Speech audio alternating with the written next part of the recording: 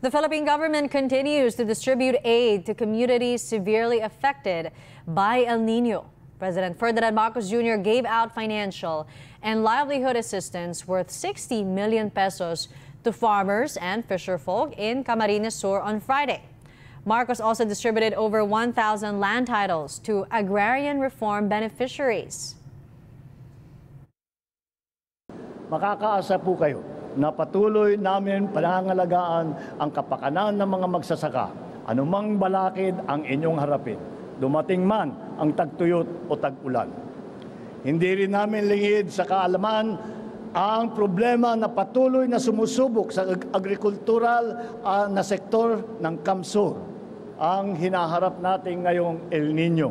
Hindi namin hahayaan na harapin ninyo ang na, na nag-iisa ang mga hamon ng El Nino. Nandito kami para patuloy na umagapay sa inyo. Over 80,000 families in Bicol were hit by El Nino.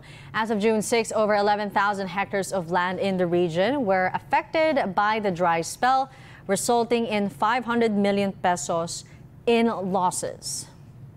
The Philippines' meat imports from January to April grew by 11 percent. According to the Bureau of Animal Industry, total meat imports during that period reached 396,000 metric tons. This is mainly driven by higher shipments of pork, which grew by 18% from the same period last year. Chicken purchases, meanwhile, grew by 2.4%. Importers say this could be attributed to traders bringing in their stocks in anticipation of higher prices due to a weak peso and a drop in domestic output due to El Nino. Filipino farmers express fears of lower rice prices after the government's move to cut tariffs on imports of the staple grain. Jervis Manahan joins us on the line for more on that. Jervis, go ahead.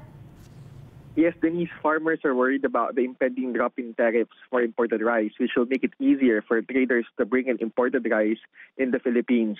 This tariff cut is expected to reduce prevailing prices by around 6 pesos per kilo, which might also cause a drop in local prices.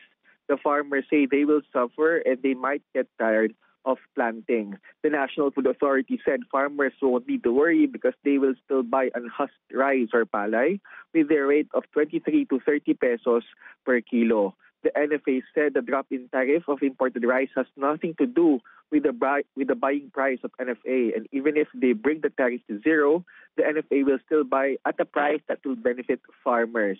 The NFA also said they will not lower the buying price just because tariffs are also down because their mandate is to buy from local farmers because they want them to continue planting and they want them to earn. The NFA also said they have bought a lot of palay from local farmers in the past month. In fact, they are nearing their target of palay buffer stock for the first half of the year. As of June 5, they already have 3.29 million bags of palay, which is already 98% of their target. This is a huge jump from the 145,000 bags of palay NFA had during the start of the year. NFA Administrator uh, Larry Lacson said they only need to procure 72,000 bags more, which he said is very feasible.